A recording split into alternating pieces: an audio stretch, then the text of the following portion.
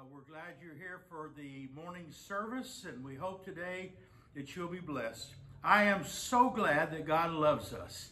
I'm so glad that God is our friend. I'm so glad that God has created happiness and joy. He says that laughter is good medicine, a cheerful heart is good medicine. And he also says that the joy of the Lord is our strength. Now, since we started doing our uh, tapes of the messages for the services, uh, I got to be honest with you, it's a little bit uh, hard sometimes to uh, to not be stiff when you're kind of uh, realizing that you're talking to folks out there, but you don't have people standing here. We're glad that you're out there. We're glad that you took the time to find us on YouTube and Facebook and we appreciate it. I have a little uh, story today I want to read. I always like to have something that's kind of funny. Hope you get a chuckle out of it and uh, realize that your laughing is releasing endorphins, which God created as the healer of our bodies. This little story probably is one of my favorites. Two brothers had terrorized a small town for decades. They were unfaithful to their wives. They were abusive to their children and dishonest in their business. When the younger brother died quite unexpectedly, the surviving brother went to the pastor of a local church. He said, I'd like to have you, pastor, conduct my brother's funeral. But it's important to me that during the service, you tell everybody my brother was a saint. but the minister replied, he was far from that. Well, the wealthy brother pulled out his checkbook and began writing a check. He said, Reverend, I'm prepared to give you this check for $100,000. Your church can use it any way it wants. All I'm asking is that you publicly state my brother was a saint. Well, on the day of the funeral, the pastor began the eulogy this way. Everybody here knows that the deceased was a wicked man. He was a womanizer and he was a drunk. He terrorized his employees and he cheated on his taxes. But then he paused. But as evil and sinful as this man was, compared to his older brother, he was a saint. I love that. Uh, I love that. It's one of my favorite jokes. I'm glad you can laugh and smile. Today we're going to read the Word of God and study the Word of God. And uh, as is custom at our church, I want to hold this book up and say our little uh, thing that we say every service for this uh, at church service for before we lift up the Word of God. This is my Bible. I am what it says I am. I have what it says I have. I can do what it says I can do. Today I'll be taught the Word of God. I boldly confess my mind is alert. My heart is receptive I will never be the same. I'm about to receive the incorruptible, indestructible, ever living seed of the Word of God. I will never be the same. Never, never, never. I will never be the same in Jesus' name. Thank you. I know you, some of you out there were saying that along with me, and we mean it from our heart. Well, today I'm going to be talking about one of the great men of the Old Testament, uh, the prophet Elijah. And he is one of my favorite men uh, in the Bible. And I love this particular story about the ministry that he had to Israel. If you go back to the 17th and 18th chapters of First Kings, and if you want to read, you're going to find out that uh, God had gotten fed up with a king that had uh, come on the scene. His name was Ahab. And uh, it was his, his reign was horrible. It says in the scripture that uh, as the Lord God of Israel lives, whom I serve, there will be neither dew nor rain for the next few years except at my word. Uh, he said that because the, the Bible says that uh, God had gotten basically fed up with uh, Ahab. Uh, Ahab, the son of Omri, did more evil in the eyes of the Lord than any of those before him. He not only considered it trivial to commit sins, but he had the gall to marry a foreign wife whose name was Jezebel, daughter of Ethbaal, king of the Sidonians, and began to serve Baal and worship him. And then he went further than that. The scripture says, not only did he serve Baal, but he built a uh, an altar to uh, in Samaria to Asherah and put a pole there. And it said he did more to provoke the Lord, the God of Israel, to anger God than did all the kings of Israel before him. God had gotten fed up with him, and God was going to pass judgment on the, his reign as king and on Israel. I will tell you something. God is in control. God makes the decisions. I have told folks here, I've been talking to them about this uh, virus that we have, uh, and, and I've been real honest with them. Uh, I'm not afraid of the virus. Uh, I believe that my life is in God's hands, and God will call me home when He wants to call me home. He may choose to use this virus to do it. I don't know. But I know this to be absent in the flesh is to be present with the Lord. I know that when this life is over, I am going straight to heaven. I made peace a long time ago. When I was 12 years old, uh, I met Jesus personally. God revealed himself to me. There was no question about it. And I asked Jesus into my heart, and he changed my heart. He made me a different person, put me on a different path, and then five years later said, I want you to be in the ministry, something that I did not want to do. I have served God. I have had a great life. I have enjoyed being at Crossroads Community Church. Here I am uh, beginning my 30th year at Crossroads. We started the church in 1991. Can you believe that? Uh, and I'm going to be beginning my 30th year. 29 years in one place. I said that back then, I'm not going to go to Yuba City. I came up here. They were starting the little church, and uh, they wanted me to, to, to preach. And I came up here, and I've been here ever since. And uh, I love God, and God is in control.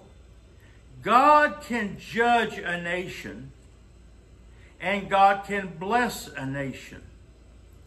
Today, we're in the middle of this virus. To me, it's like a plague. And I read about a lot of them in the Old Testament. Plagues that came upon Israel, plagues that came upon Egypt. Uh, and I realized that God, in each case, was in control. God's in control today. Elijah had passed judgment on Ahab at God's command and had told Ahab that the judgment would be that Israel would go into a drought for a long time, and the drought would not be lifted until he gave the word. If you study the 17th chapter of the book of First Kings, you'll find out. The drought was long. Before long, the streams dried up. Before long, crops uh, were dying. They were diseased. There was famine in the land, and people were miserable. God did not lift the drought. The drought went on for three and one half years. That is a long time for God to pass his judgment. And the fact of the matter is, it fell on both the good and the bad. It fell on believers and unbelievers because God was in control. Now, the scripture we're going to share today is the scripture uh, in 1 Kings chapter 18 that deals with uh, Ahab the king being confronted by Elijah the prophet. The scripture says very carefully that God uh, set up a meeting. Obadiah helped put it together. And God set up a meeting between King Ahab and the prophet Elijah. Ahab had been trying to get rid of Elijah. Uh, Jezebel had been trying to get rid of Elijah. God protected him. And now God wanted to have a meeting between these two men, King Ahab and the prophet of Israel, Elijah.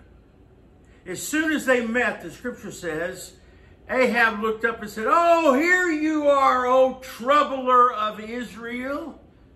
Quickly, Elijah spoke back, I'm not the troubler. Uh, you are. You and your family and you, your reign has been awful. God is upset. You have led the people away from God and you've sent them to other gods, Baal and Asherah. And God is upset with you. Now he said, We're going to settle this. And he said very boldly to the king, He said, We're going to have a contest today. We are going to find out whose God is real. Is it the 450 prophets of Baal's God? Is it the 400 prophets that believe in Asherah? Is this God? Or is it the God of Israel, the Creator, the God of Abraham, Isaac, and Israel?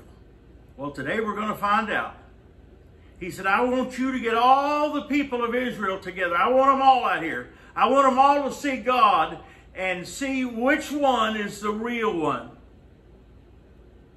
So Ahab responded and said, Yeah, let's get it on, basically. And Elijah waited, and all the people of Israel gathered together at the command of the king to listen to Elijah. The scripture says Elijah looked at the folks and he told them, Today, we're going to see who God is. And the scripture reads this way They were assembled at Mount Carmel. Elijah went before the people, and here's what he said How long will you waver between two opinions? If the Lord is God, follow him. If Baal and Asherah is God, follow them. He looked out at the people and they said nothing. They said nothing. They didn't stand up for God, the God of Israel. They didn't stand up for Baal and Asherah. They said nothing. I thought about that a lot. Uh, sometimes today, when we're confronted with difficult things, we freeze. You freeze when you have fear. You freeze when you are afraid. You freeze when you, you think you might offend somebody. In other words, you can't take a stand and you can't make a decision. You're a chicken Elijah had asked them, if God is God, serve him. If Baal and Asherah is God, serve them. And the people of Israel said nothing. God said, well, today, you're going to find out who God is. He said, we're going to have a little contest here. We're going to have a contest between the 450 prophets of Baal and the 400 prophets of Asherah. That's 850 false prophets and me. And I, it seems that I'm the only one standing up for God. So the odds aren't real good if you look at the, the face value of this. It's 850 to 1. But I am going to show you who God is. See, Elijah believed in his heart that Elijah the prophet plus one, God, was the majority no matter what. And so he said, here's what we're going to do. We're going to have a little contest. I want you to go and get two fine bulls. I want you to bring them here. And then I want the prophets of Baal and Asherah to come forward, and I want them to pick which one of the bulls they want. They get first choice. They get pick of the litter. I don't want anybody saying that we cheated or we tricked them. They get the best one if they want the best one. We'll take the one that's left. And here's what the contest is. Very simple. We're both to build an altar. We're both to put fire, uh, wood on the altar. We're to cut up the bull and place the meat on the altar. And then neither side's going to light a fire to start the fire to for the sacrifice. We're going to see whose God lights the fire. And whose God lights the fire will tell us who the real God is. Now, here's the deal. I want the prophets of Baal and Asherah to go first. I want to give them plenty of time. I don't want anybody to be able to point a finger and said, we somehow tricked them or cheated them. You guys get first choice. Go build your altar, prepare your bull, get ready, and it was going to start about 9 a.m. Elijah decided to wait. Well, the prophets of Baal and Asherah began to uh, call on their God. They called on the name of Baal and they called on Asherah. And they said, Oh, Baal, answer us. And they shouted at the top of their lungs, but there was no response. There was no answer. They danced around the altar and they made all kinds of commotion, but there was no response. It was about 12 noon when Elijah began to taunt them. Now you got to understand here for a minute. Either Elijah is crazy or he's a man that has a lot of faith. He began to taunt them after they had been praying and doing the, all the religious stuff and shouting for three hours, he began to taunt them. I, I, read this in a lot of different versions because I, I wanted to really see what it was said. He said, he started off by telling them, you need to get louder, shout louder. And then he said, uh, maybe, possibly, your God is in a deep thought. maybe he's real busy and can't stop what he's doing for you. Maybe he's traveling. And then he said, maybe he's, uh, he's asleep and you need to wake him up. I was reading one of the living translations and uh, it said that he said, maybe your God is relieving himself. Maybe he's sitting on the toilet. Anyway, he made fun of their God because their God was not responding. Well, the scripture says that they began to really get into a frenzy. They, verse 28 said, they shouted louder. They began to slash themselves with their swords and with their spears. And you thought to yourself, wow, uh, they are really into this. But the scripture says very clearly, this was their custom. So they were cutters. They would cut themselves and they would think that when they bled and when they had pain, this would catch the attention of their God. But guess what? Their God didn't respond. It's getting later in the day, midday passed. They continued their frantic prophecies until the time of the evening sacrifice came, but there was no response.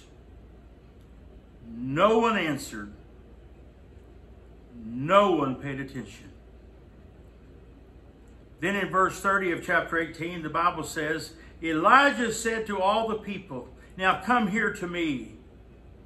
And all the people of Israel came close to watch and to hear Elijah. he wanted them to see what he was doing. The first thing that he did was he began to repair God's altar. It was left in disarray. No one had taken care of it. People haven't been offering sacrifices to God. They, they, they had turned and were doing their own things. You know, we get that way sometimes. We, uh, we, we, we say we love God and we serve God, but we let stuff and things uh, get in the way of God. The scripture says you can't love God and mammon, which is money. It says you're going to either love God or you love mammon or money. But you can't do both. God is going to either be number one and be your God, or he's not going to be your God at all. Now, there's nothing wrong with having money. If you have money, you can help people, you can do good things, you can support God's ministry, you can help it go forward you can be a good steward of what God is giving you. But you have to remember the money, the stuff, and the things that you receive were created by God. In the beginning, the scripture says, God spoke everything into existence out of nothing. It all belongs to God. Now, when we're faithful stewards and we serve God, the scripture says God gives us something. He wants to see what we're going to do with it. Are we going to be people who hoard it? Are we going to be people who who uh, who won't give anybody? We're selfish. We won't give anything out to anybody. Or are we going to be people that will not only use it for good, but bless others with it? Bless the ministry with it. What are we going to do with it? The Scripture says, when you're faithful over a little, God will make you ruler over much. I have a lot of good friends that are great believers in God and God has blessed them literally richly. They they now are they have earned lots of money. They've invested a lot of their money. They've bought lands. They've bought houses, and they they have a lot of wealth. But they give out of their wealth to bless other things. I've seen them uh, send money to our orphanage, for for instance.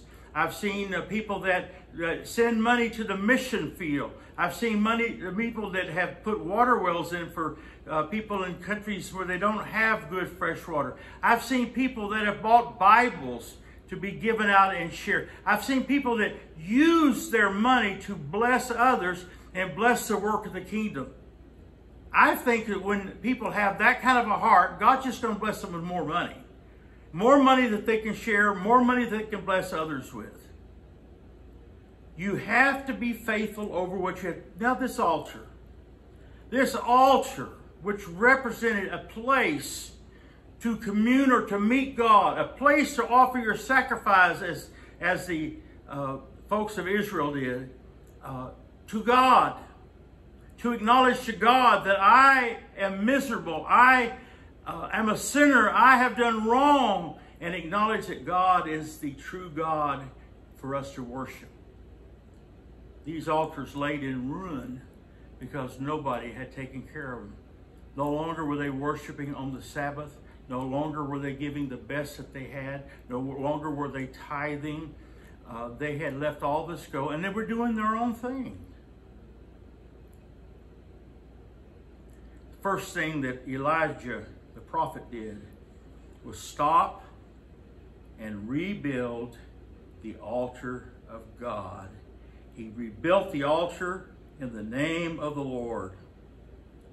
And then it says, he had them, this was an unusual thing, he had them dig a large trench around it. And then it says he took wood and he arranged it there at the altar. He cut the meat of the bull into pieces, laid it on the wood, And all this was done on an altar built with 12 stones, 12 rocks, which represented the 12 sons, the 12 sons that were now the representation to God of the of Israel. This The 12, now the tribes of Israel, were represented here by 12 rocks on the altar. Now, here's a strange thing that happened. He had them go get four large containers. In this version, it calls them jars. They were very large jars if they were jars. They, held, they would hold a lot of liquid. And he said, I want you to go and get water. So they had to travel some distance to fill these things up with water. Remember, they've had three and a half years of drought. And so they go and bring these four large jars. And he said, I want you to douse the sacrifice. I want you to douse the wood. And I want it to be soaking wet. And so they dumped four large jars of water on the sacrifice. Now he said, I want you to go do it again. okay. So they went and got four more big containers of water and came back. He said, douse it again. And then he said, I want you to go and get four more. This is a total of 12. 12 is always a number of God. Remember how many tribes there were? 12. 12 is always a complete number, a number that God uses. He said, pour that water on there. Now, I'll tell you, the sacrifice was sopping wet. The wood was so wet you could never start a fire with it. And then the water that was left completely filled the trench that was there until the trench was running over. What in the world was Elijah doing? Well, I'll tell you what he was doing.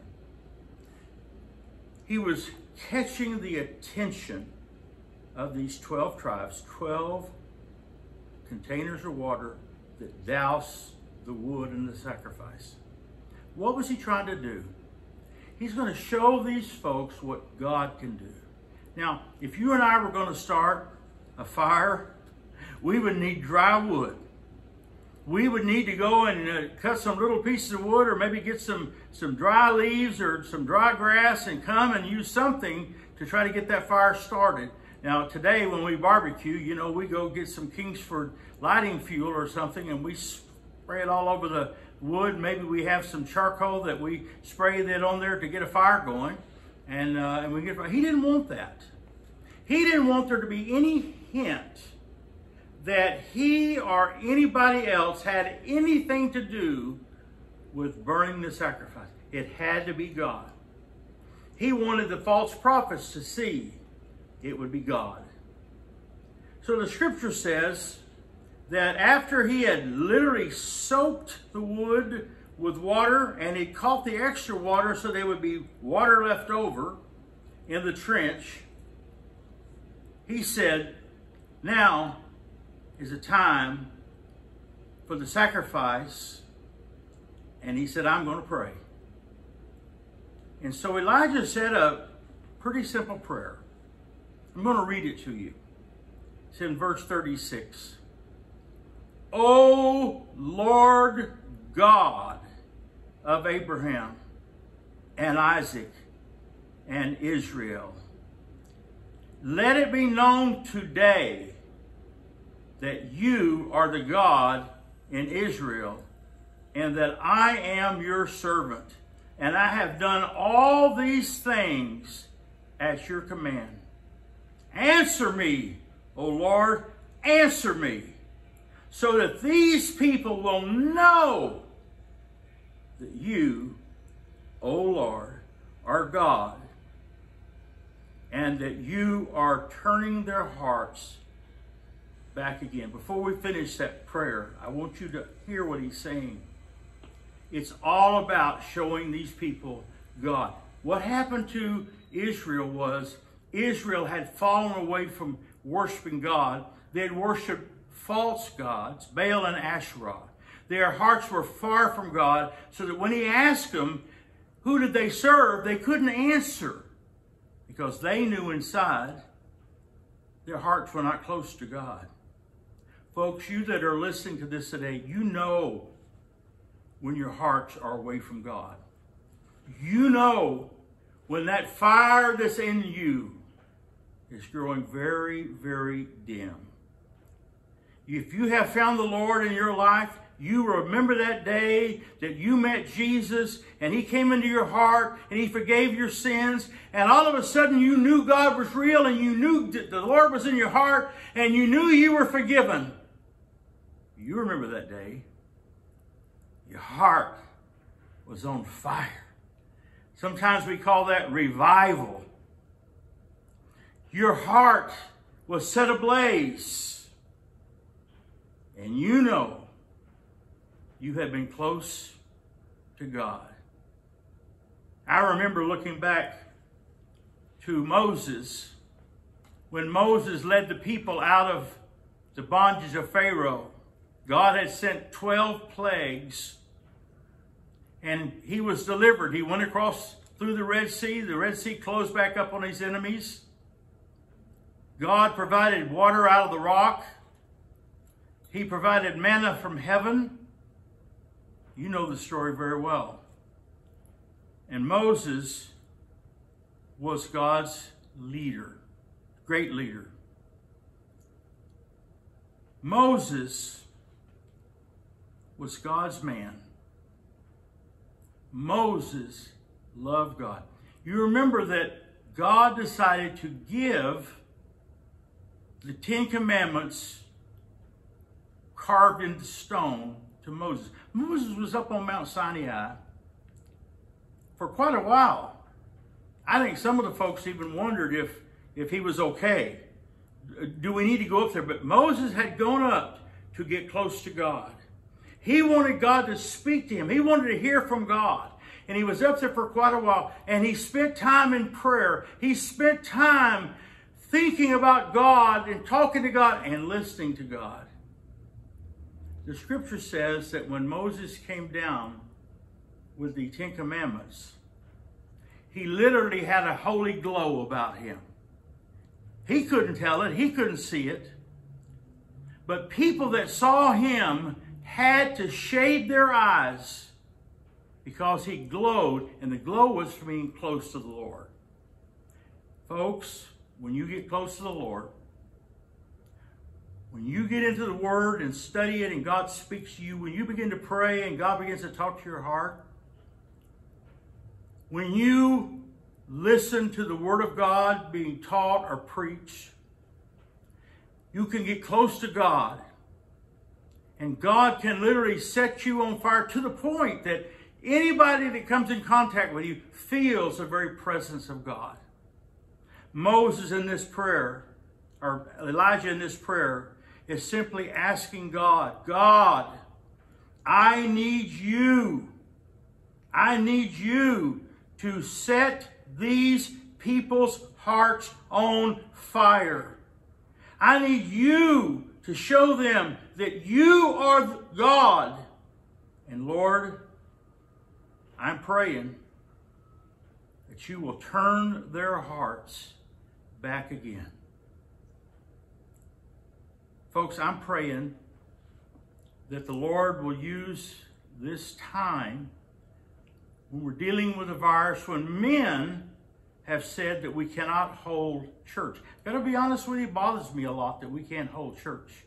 Uh, one of the things about our country that's really great is we have freedom. Freedom to be what we want to be, freedom to choose, and it says in the Word, or in the Constitution and in the Bill of Rights, that we have certain rights that come from God, and one of them is that we can worship God freely and assemble and worship God.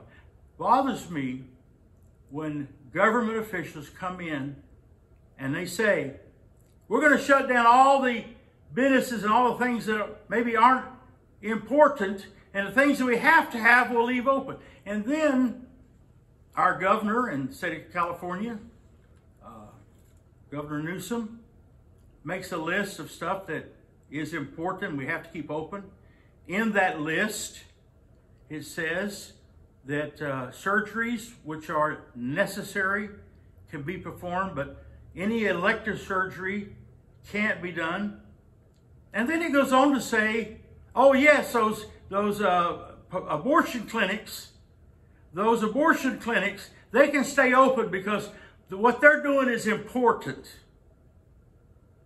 But they turn around and look at the church and say, oh, yes, the church, theirs isn't important. The church, uh, no, we don't have to have that. The church has been relegated to being unimportant. I'm telling you that our the founders of our country, in the very beginning, said, we have the right to worship God, and we have the right to assemble as we worship God. And I personally am not going to give that up. I am praying that God changes the hearts of some of these leaders. I'm hoping that God shows them who he is. King Ahab is watching. The 450 prophets of Baal are watching. The 400 prophets of Asherah are watching. All the people of Israel are watching. He prays a prayer asking God to use this time to draw their hearts back to God. He's praying that this would be the time that God would be revealed to the people. And he would be revealed as the prophet of God and that he had done this at God's command. And he says to God, answer me. God, answer me. Let these people know you are God. And you are turning their hearts back again. Verse 38 says this, very simple. Then the Lord sent fire. It fell and it burned up the sacrifice. Let me, let me just tell you what happened. They're all there, they're watching. They've, they've got their eyes glued on the sacrifice. Some are mumbling and talking about, well, how come we're put at a disadvantage with water on our sacrifice? Their sacrifice was dry. I can just hear people talking. But they were watching the sacrifice and they heard this prayer. And then all of a sudden a ball of fire came down from heaven. It had to be pretty hot because it explained what it did. It came down from heaven and it lit on the sacrifice. And it says it was so hot that it burned up all the meat. It was so hot that it disintegrated the 12 stones and it burned up the dirt and it licked up the water. It, or it, it caused all the water to turn to steam and go away. God responded yes to his prayer. Verse 39, when all the people saw this, when they saw what God did, when they saw that God answered miraculously, it wasn't a trick. It was for real. It said, when they saw this, the people fell on their faces and began to cry out to God. They fell on their faces. God was revealing to their hearts that they needed to ask forgiveness. They needed to turn from their wicked ways. They needed to focus on God. They needed to ask God to come and be personal to them. It says they fell prostrate on the ground and they cried out and they cried out this, Lord, the Lord, He's God. The Lord, He's God. And revival came on Israel. I want you folks to think about that. These people had gone through tough times. They had gone through a time when it didn't rain, their crops didn't grow. It was a time when it seemed like everything was going wrong. God wasn't there. But God was using those circumstances to get those folks to focus on what is was important, to focus on God. Elijah the prophet, he was the one man, the one prophet that stood up for God and that was willing to challenge evil no matter what the cost. He was outnumbered badly, except he had God. And then lastly, I want you to see this. Elijah was bold. The scripture says Elijah commanded, seize all the false prophets of, Bash, of Baal and Asherah. Seize the 850 prophets. Take them down to the Kishon Valley. And they took them down, and the scripture says Moses had them slaughtered there. Wow. Uh, any way you look at that, that's capital punishment. Moses had them slaughtered there. And I read that and I'm, I, I read it and I know some people are going, well, wow, I thought we had a God of love. I thought we had a God of peace. But sometimes, folks, you have to stand up for what's right. You have to stand against evil and wrong. Sometimes you have to take a stand and you can't continue to waver between both sides. What's right is right, but what is wrong is wrong. The scripture tells me that the Lord Himself is going to come down from heaven and we're going to meet Him in the air. Both the ones that have already passed and the ones that are alive are going to meet the Lord in the air and we will spend eternity with God. But it also says, those who wouldn't believe, the those that would not bend their knee to God, which simply means they wouldn't bow before God and acknowledge that He was God and they needed His help. Those that wouldn't bow it says on that judgment day, they'll all bow. They'll, everyone will bow. The problem will be it'll be too late. Right now, we're in the period of grace. We have the opportunity and the chance to find the Lord. If the Lord is stirring your heart, if the Lord is tugging on you, if the Lord is making it uneasy for you when you hear these words, I'm telling you, it's because He loves you. It's because He sent His one and only Son, Jesus, to die on the cross for you. And He wants you to come to Him. Jesus has a gift for you, but it's not your gift until you receive it. I'm going to tell you today if God is stirring your heart in any way, it's because He loves you and he wants to come into your heart and make you a different person. He wants to give you the fire in your heart and revival. There is going to be a judgment day, and that day is for those who do not believe. And the scripture is very blunt about it. Hell was not created for us. Hell was created for the devil and the demons and all his imps, their judgment has been sealed in a fiery pit called hell. But if you refuse to accept the free gift of salvation, the scripture is very clear.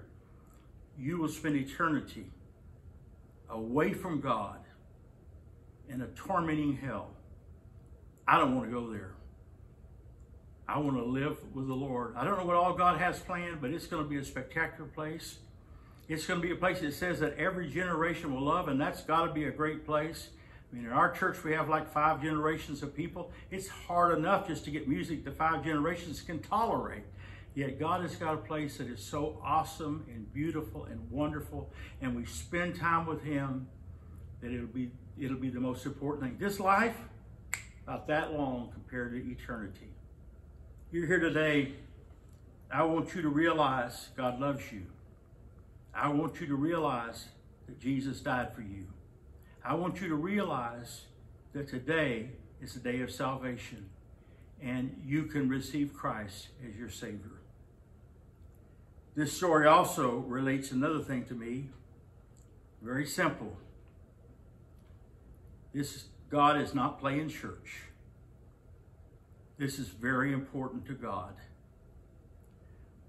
He was willing to send his one and only son, Jesus, to die on a cross. The one that never sinned would take the sins of the lost world on himself to pay the price for our sins. So God's not playing church. God is serious. I want to challenge you today to think about it. I want you to challenge you today to consider living for the Lord. And then I want to challenge you today to stand up for what you believe and be counted for God. Thank you again for coming, tuning us in today. Would love and appreciate it if you would uh, uh, send this link to someone that you know that might need to hear this message, that you would share it with others. We would appreciate that. We want to thank you for uh, coming today and listening to this message. May God bless you. May you feel His presence. And may the God of creation set your heart on fire. Thank you again. This is Pastor Jim Clark of Crossroads Community Church, thanking you for tuning us in today. May God bless.